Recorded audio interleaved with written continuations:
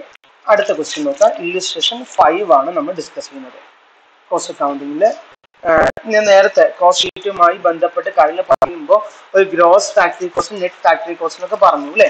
അതുമായി ബന്ധപ്പെട്ട ഒരു ആ ഒരു കോൺസെപ്റ്റ് അപ്ലൈ ചെയ്യേണ്ടി വരുന്ന ഒരു ക്വസ്റ്റ്യൻ ആണ് കേട്ടോ നോക്കാം.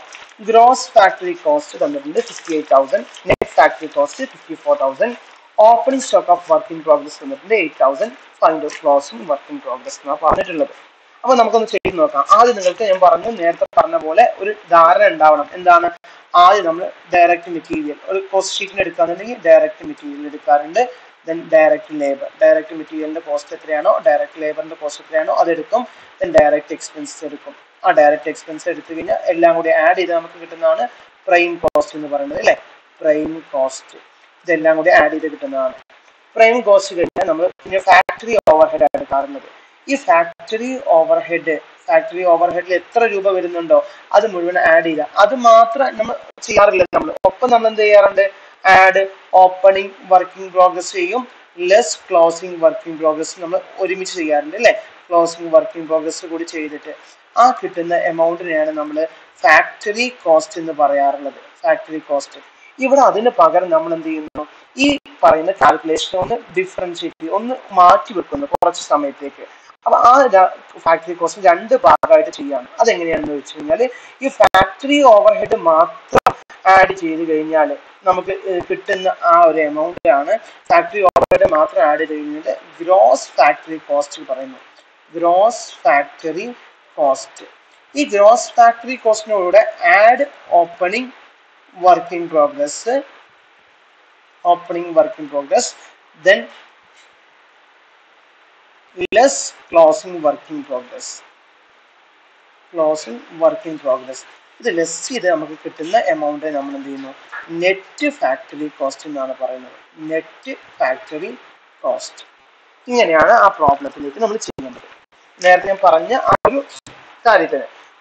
ഇവിടെ നമുക്ക് അറിയുന്ന വാല്യൂസ് ഒന്ന് സബ്സ്റ്റിറ്റ്യൂട്ട് ചെയ്ത് കൊടുക്കാം. കോസ്റ്റിൽ ഗ്രോസ് ഫാക്ടറി കോസ്റ്റ് തന്നിട്ടുണ്ട്. ഈ ഗ്രോസ് ഫാക്ടറി കോസ്റ്റ് എത്രയാണ്? അത് ഫിഫ്റ്റി എയ്റ്റ് തൗസൻഡ് ആണ്. അപ്പോൾ ഇവിടെയാണ് ഫിഫ്റ്റി എയ്റ്റ് തൗസൻഡ് എന്ന് ഇട്ട് കൊടുക്കുന്നു നെറ്റ് ഫാക്ടറി കോസ്റ്റ് വന്നിട്ട് നെറ്റ് ഫാക്ടറി കോസ്റ്റ് സ്ഥലത്ത് ഞാൻ എന്ത് ചെയ്യുന്നു? ഫിഫ്റ്റി ഫോർ തൗസൻഡിൽ നിന്ന് ഫിഫ്റ്റി ഫോർ തൗസൻഡിൽ ഇട്ട് കൊടുക്കുന്നുണ്ട്. ഇനി opening stock of work in progress വന്നിട്ട് എയ്റ്റ് തൗസൻഡ് ഓപ്പണിംഗ് സ്റ്റോക്ക് ഞാൻ ആഡ് ചെയ്യേണ്ടതാണ് അല്ലേ?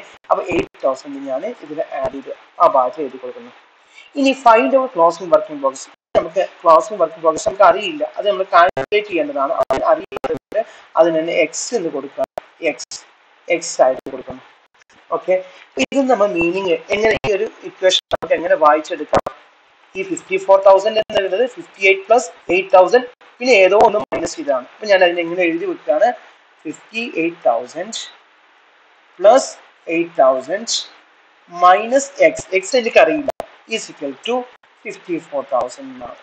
ഇവിടെ എനിക്ക് എക്സിനെയാണ് അറിയേണ്ടത്. ആ എക്സിനെ മാത്രം ഞാൻ അവിടെ നിർത്തുകയാണ്. ബാക്കിയുള്ള അങ്ങോട്ട് കൊണ്ടുപോകാം എക്സ് ഈസ് ഇക്വൽ ടു എന്താണ്? ഫിഫ്റ്റി ഫോർ തൗസൻഡ് ആ ഭാഗത്തേക്ക് ഈക്വലിന്റെ അപ്പുറത്തേക്ക് കൊണ്ടുപോകാം ഫിഫ്റ്റി എയ്റ്റ് തൗസൻഡ് എന്നുള്ളതിന് ഇങ്ങോട്ട് പോകുമ്പോൾ പോസിറ്റീവ് ആണല്ലേ? അതിന് ഇങ്ങോട്ട് പോകുമ്പോൾ നെഗറ്റീവ് ആകണം. Minus fifty eight thousand okay then ഈ എയ്റ്റ് തൗസൻഡ് പ്ലസ് ആണ്. ഏ? ആ ഓക്കെ എയ്റ്റ് തൗസൻഡ് അങ്ങോട്ട് പോകുമ്പോൾ എന്ത് ചെയ്യും? മൈനസ് അവിടെ മൈനസ് എക്സ് ആണ് നിൽക്കുക കേട്ടോ. മൈനസ് എയ്റ്റ് തൗസൻഡ് അങ്ങനെ വരും. ഇവിടെ നോക്കുകയാണെന്നുണ്ടെങ്കിൽ നമുക്ക് എത്ര വരുന്നുണ്ട്? ഈ ക്വസ്റ്റ്യൻ നമ്മൾ നോക്കുകയാണെങ്കിൽ fifty four thousand minus fifty eight thousand minus eight thousand minus x is equal to minus twelve thousand വരുന്നുണ്ട്. ദാറ്റ് ഈസ് അപ്പൊ minus twelve thousand minus twelve thousand ആണെന്നുണ്ടെങ്കിൽ x is equal to twelve thousand ഇങ്ങനെ എഴുതാം. ഇതിനെ ഇങ്ങനെ ഈ രീതിയിൽ കാണാം. അതല്ല ഇങ്ങനെ അല്ല എന്നുണ്ടെങ്കിൽ മറ്റൊരു രീതി നമുക്ക് ചെയ്യാൻ പറ്റുക. ഇവിടെ മൈനസ് എക്സ് ആണല്ലോ. മൈനസ് എക്സിനെ മാത്രം എന്ത് ചെയ്യാം അങ്ങോട്ട് മാറ്റിയാലും മതി. അതെങ്ങനെയായിരിക്കും? നമ്മുടെ ഇക്വേഷൻ ഇങ്ങനെ നേരത്തെ കിട്ടിയത് നേരത്തെ എങ്ങനെ കിട്ടിയ ഇക്വേഷൻ ഇവിടെ നോക്കാം. കിട്ടിയ equation fifty eight thousand plus eight thousand minus x is equal to fifty four thousand എന്നാണ് കിട്ടിയത്. അതിന് നമുക്ക് എന്ത് ചെയ്യാം ഈ എക്സിനെ മാത്രം അങ്ങോട്ട് മൈനസ് എക്സിനെ മാത്രം അങ്ങോട്ട് കൊണ്ടുപോയാൽ എന്ത് ചെയ്യും പ്ലസ് ആവും അല്ലെ മൈനസ് എക്സിനെ അങ്ങോട്ട് കൊണ്ടുപോയിട്ട് അവിടെ ഫിഫ്റ്റി ഫോർ തൗസൻഡ് ഇങ്ങോട്ട് കൊണ്ടുവന്നാലും അങ്ങനെയും മതി. അപ്പൊ നമുക്ക് എങ്ങനെ എഴുതാം? Fifty eight thousand plus eight thousand minus fifty four thousand is equal to x എന്ന് എഴുതാം. അപ്പോൾ നമുക്ക് കിട്ടുന്ന ആൻസർ എന്താണ്? Fifty eight thousand six thousand minus fifty four thousand this twelve thousand twelve thousand is equal to x അപ്പോൾ x ആണ് നമുക്ക് അറിയാത്ത എമൗണ്ട് ഉണ്ടായിരുന്നത്. ആ ട്വൽവ് തൗസൻഡ് നമുക്ക് അവിടെ എഴുതി വെക്കാം. ട്വൽവ് തൗസൻഡ് എന്താ ക്ലോസിംഗ് വർക്കിംഗ് പ്രോസസ് അപ്പോൾ ശരിയാണോ നമുക്കൊന്ന് നോക്കാം.